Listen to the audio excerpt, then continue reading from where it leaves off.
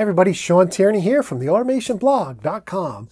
And in today's video, I'm going to show you how to do aliasing of I.O. inside a Connected Components workbench for the Micro 800. So let's go to the computer here, and I'll just go ahead and create a new project. And we'll create it here. And, uh, you know, a lot of people have used Control ControlLogix or Logix 5000, Studio 5000, often wonder, hey, can I alias I.O. in those little uh, micro 800s, and you can. After this project's done being created, I'll show you how. So here we have what we call global variables. These would be like your controller tags in a ControlLogix. And if I open that up, you'll see my I.O. It has this strange nomenclature. Underscore I.O. embedded digital output. Underscore I.O. embedded digital input. And if I want to alias them, I just fill in the text here in this alias column. For instance, uh, this would be my stop button this would be my start button.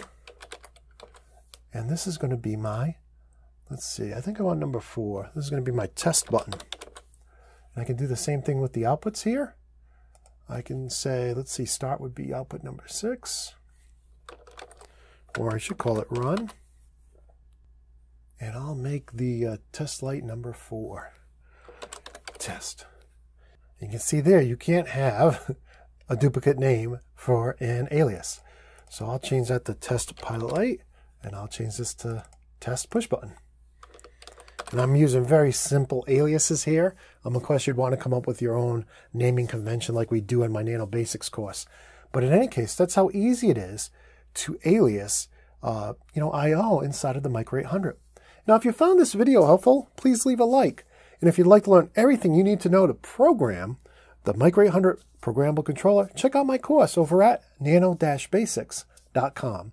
And if you'd like to support me and help me make more free videos and publish more free blogs, and in fact help me remove all the ads from all my blogs and from all my videos, then consider leaving me a pledge of $1 a month over at patreon.com forward slash automation. And until next time, peace.